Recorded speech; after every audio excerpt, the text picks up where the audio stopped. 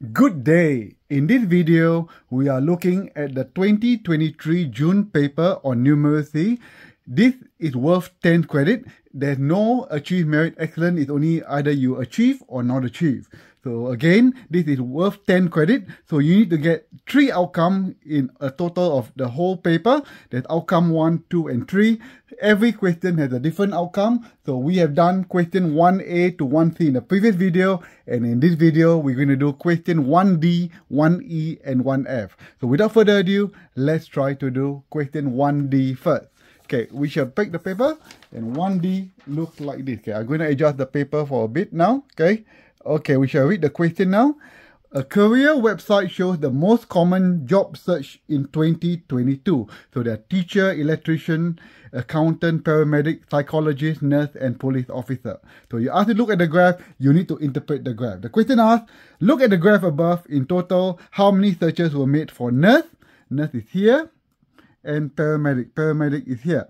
So what we're going to do, we're going to calculate the nurse first. Okay, for every 30,000 to 40,000, you can see there are five numbers. 1 2 3 4 5 so every line is worth 2000 so for nurse it's going to be 32 34 36 38 and a bit more 39 39 and so nurse is going to be 39500 for nurse okay? And for paramedic Okay, we're going to do the same for paramedic. So paramedic is here. So you can, from here is 20,000, 22, 24, 26, and a bit of half of it. So paramedic is going to be 26,500.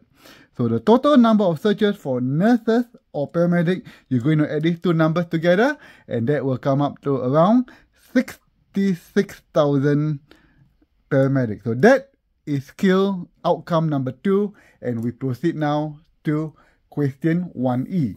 Okay, 1E sounds like this. So I'm going to get the paper, the question. Okay, so 1E is going to look like this. Okay, we shall read the question. Lily cuts pizza so that each pizza has a slice of equal size. Calculate the angle marked on each pizza. Okay, so you know the angle around the point. The whole angle is going to be 360. If you divide it into the 4, so it's going to be 360 divide by 4 and the angle is going to be 90 degrees. So that angle is going to be 90 degrees.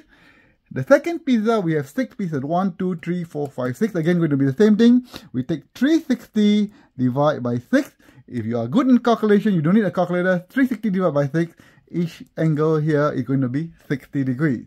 And last but not least, if you are dividing on 8, it's going to be 360 divided by 8 if you know your calculation well, you don't need a calculator and the answer is going to be 45 degrees. And that is outcome number one. Okay, so now we shall look at question 1F and this will be outcome number three. Okay, so we shall read the question together. Okay, the question reads like that. Tui is helping her dad build a rectangular deck. Okay, the deck will be 8 meters long, so there'll be 8 meters long and 2 meters wide. A 1 meter strip of wood is called a linear meter. So one strip of wood is called a linear meter.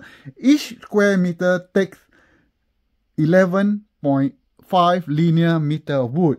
Tui says about 190 linear meters are needed to build the deck. Is she right? Use measurement to explain the answer. So, so first we need to find the area of this deck. So area of deck, okay, is going to be 8 meters by 2 meters. So that will come up to 16 meters squared. Okay. So each meter squared, here each meter squared require, so each meter squared require 11.5 linear meters. Okay. So to get 16 meters squared, so 1 meter squared, so 16 times 11.5, use your calculator and the answer is going to be 184 linear meters. So the question is, is she right? She said that Tui says 100 meter linear meters are needed to build the deck. So 184 is quite close to 190. You can answer yes. It is about 190 linear meter. On the other hand, if you decide to be exact, you say 190 is exactly 190 184 is not 190. You can argue in a different way. You can answer no, she is not Right. So both way is acceptable. So I prefer this method. It's about 190 is about 184. So that will give you op- outcome number three.